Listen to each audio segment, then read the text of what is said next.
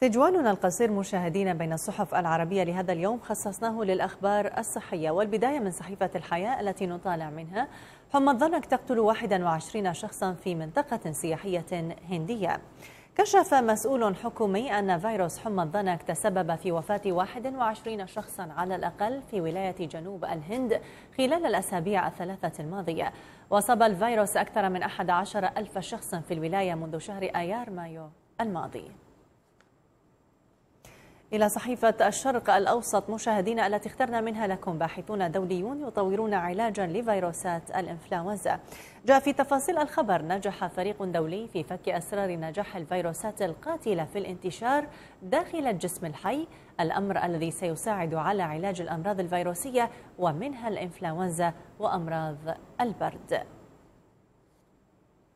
صحيفة القبس الكويتية عنونت بين صفحاتها لهذا اليوم ألعاب الكلمات المتقاطعة تحافظ على شباب الدماغ. إذا كنت من عشاق ألعاب الكلمات المتقاطعة تحمل لك نتائج دراسة جديدة أخبارا سارة. فممارسة هذه الألعاب يوميا تجعل الدماغ أصغر بعشر سنوات عند التقدم في العمر.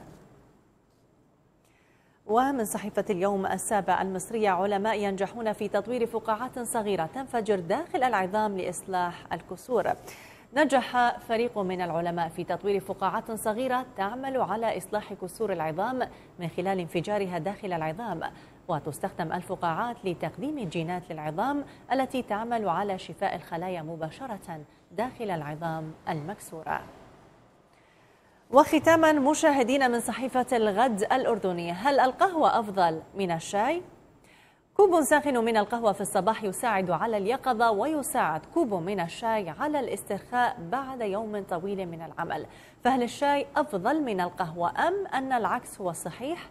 يقول الخبراء إن هذا السؤال تصعب الإجابة عليه إذ من الصعب فصل مكونات المشروبين المختلفة وتأثيرها على أعضاء الجسم المختلفة